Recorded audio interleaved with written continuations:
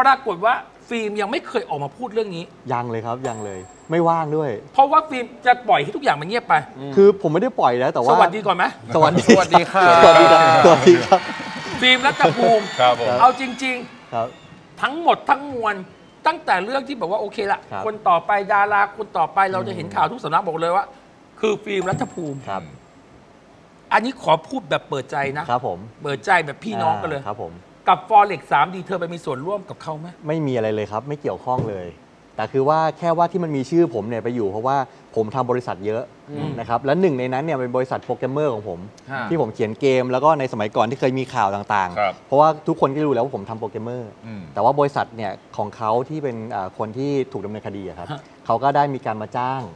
เราก็เป็นคนรับงานทั่วไปครับอืมก็ไปรับงานแค่นั้นเอง เขียนโปรแกรม เขียนโปรแกรมตอนนั้นใช่อ่าก็แค่นั้นเอง มันก็เหมือนว่าเราแค่ไปรับงาน ผมก็เข้าไปดีแคร์ตัวเองกับ DSI ครับใช่ครับ ก็คลีนเรียบร้อยเพไม่ราะมีเราอะไรก็คไม่รับรู้เนอะว่าใครจะมาจ้างเราทำอะไร ไม่รู้ใช่ เราก็เป็นคนที่หาเช้ากินข้ามทำงานทั่วไปฮะใช่ครับ แต่ณตอนนั้นข่าวบอกว่าโอเคละเราจะได้ยินหลังๆเนี่ยคือเนื่องจากดาราจะโดนกันเยอะ ครับผมครับครับดาราโดนหลายฟอคนเร็กสามถูดีกต้องไหมเกี่ยฮะวข้องกันเยอะมาก Forex 3D กลายเป็น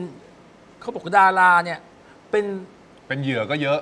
ไปร่วมทำก็เยอะ ก็ฉันยังบอกไงอีพอยยังโดนไปแสนหนึ่งเลยอะถูกต้องไหมล่ะ ส่วนใหญ่จะเป็นเหยื่อแหละ เป็นเหยื่อเยอะ หลอกให้โดน แต่ขนาดเดียวกันเป็นคดีที่มีชื่อคนในวงการบันเทิง เยอะเยอะมากเยอะมากเยอะมาก เกี่ยวข้องเยอะมากแล้ว็พูดถึงขนาดว่า อ๋อ เพราะใช้ความดังของคนในวงการบันเทิงอืมไปสร้างความน่าเชื่อถือให้กับคนเขาโดนหลอก ครับใช่ใช่ปรากฏมีชื่อฟิล์มอยู่ด้วย มีอยู่ด้วยฟิล์มแต่นี่ว่าโดนทุกคดีเหมือนกันนะเราอะจริงตั้งแต่ว่า แต่รู้จักฟิล์มมาก็โดนหนักๆหลายเรื่องแกโดนทุกคดีเหมือนกันนะ จริงครับจริง คือจริง ๆ แล้วแต่ว่ามันไม่ได้มีชื่อผมเนี่ยไปเล่นหรือว่าไปชวน มันจะมีชื่อผมเนี่ยไปรับงานว่าปรามีกฏเงินมีเข้าเงินออกเงินเข้าออกมีการเงินเขาเส้นทางการเงิน ใช่การเงินของบริษัทมาสู่บริษัทนี้ อ่าเข้ามาสู่บริษัทผมหก ผมก็เลยต้องล้านบาท ใช่ครับ ก็เลยก็ต้องเข้าไปดีแคร์ฮะเป็นค่าจ้างเขียนครับโปรแกรมนะเป็นค่าจ้างตอเขียนโปรแกรมซึ่งสามารถ declare ได้จนเรียบร้อยแล้วเรียบร้อยครับ ตอนนี้ก็ clean ครับ ไม่ได้มีอะไรครับเออไม่มีฟ้อง firm หมดแล้วนะ ไม่มีเลยครับถูกไม่มีเลยนะใช่ เพราะว่าเราก็ต้องเข้าไป declare ตัวเอง แล้วตอนนั้นเขาได้มาชวนเราเล่น forex ด้วยไหมตอนผมอะโชคดีที่ผมไม่ได้มีใครมาชวนผมเลย แล้วเรารู้ไหมใช่ว่าเขาทำเรื่องของ Forexผมแค่รู้ว่าไอ้โปรแกรมเนี้ยมันดังมากอันนี้ไม่น่าจะลงอะ คือผมแค่รู้โปรแกรมนี้ดังมากเออแต่ผมแต่ผมไม่มีใครมาชวนมันคือความโชคดีด้วยอะเออ เออหรือว่าถ้ามาชวนอาจจะไปก็ได้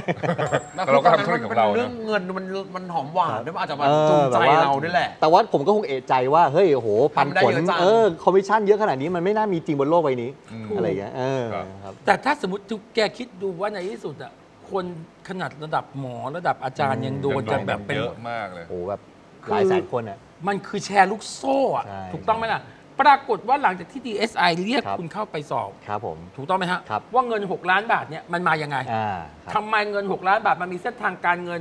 มาจาก Forex 3D ครับ ถูกต้อง คุณให้คำตอบเขาไปว่ายังไง พอดีผมโชคดีที่ ผมดันเก็บเอกสารไว้ครบหมดเลยอืม ใช่ครับ ถ้าเป็นแบบว่าบริษัทอื่นๆ อาจจะทิ้งบ้างอะไรบ้าง แต่พอดีว่าโช่วงดีที่อยู่ๆบริษัทนี้เป็นข่าว ผมก็เลยบอกทีมงานพนักงานว่าเฮ้ยรีบไปคุยมาเลยนะไอไอเอกสารเพราะเราพอจะเก่าจำได้ๆเออใช่ไหมว่าเราการเซ็นรับเอจ้างกเขาอยู่สารการรับจ้างต่างๆเนี่ยเออเอามาเพื่อป้องกันตัวเอง แล้วครับวันนั้นก็มาถึงพอดี เรียกพอดีเลย เพราะว่ามันย้อนกลับไปจริงครับ ๆมีการจ่ายเงินจริงหลักล้านบาทนะครัครับบครับเมื่อปีใช่นาน61มันก็คือย้อนกลับไป 6-7 ปีที่แล้วเลถูย กต้องถูกต้อง